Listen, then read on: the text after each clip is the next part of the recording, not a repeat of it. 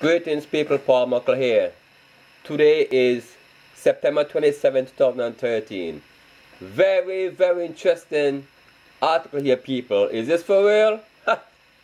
well now, looky here. There's actually plenty of water on Mars. Check this out people. Curiosity latest discovery should pour water on any reservation you might have had about our inevitable move to Mars. In a game-changing turn of the red planet viability for human exploration and settlement, the plucky rover has found that Mars has practically unlimited supplies of water.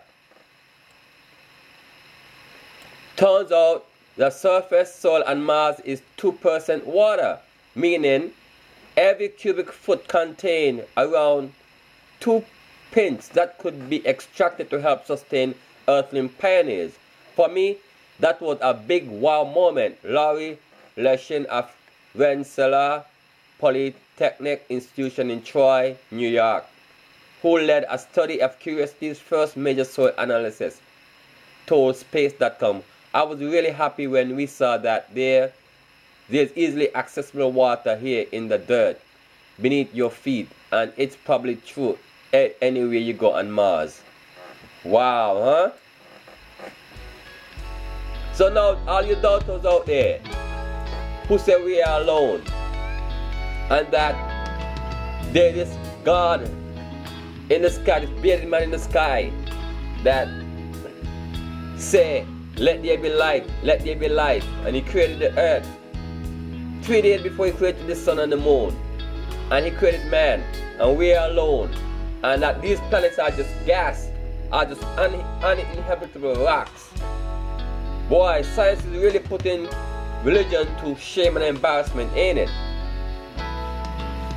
Don't y'all people see that religion has been y'all worst enemy to the progress of mankind? Religion, something that's supposed to teach you about spirituality and ascension, has been the thing that have been enslaving us for ever since the beginning of time. Religion, and people still cling to this crap about dying and go to heaven in Jesus' name and all that stuff.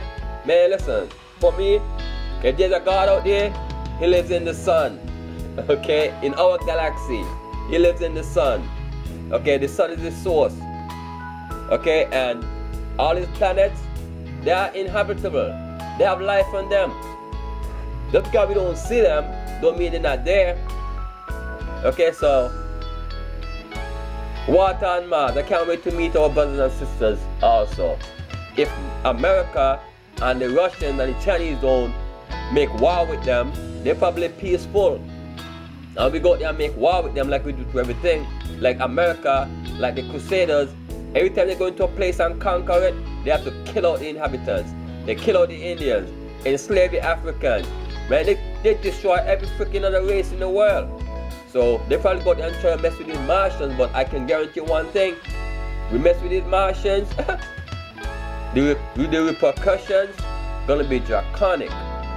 So anyway, I can't wait to see my my Martian brothers and sisters. Can you all wait, people?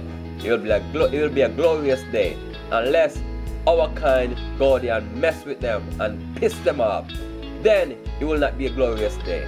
One love, one heart, one destiny, destiny to all the creations of the universe.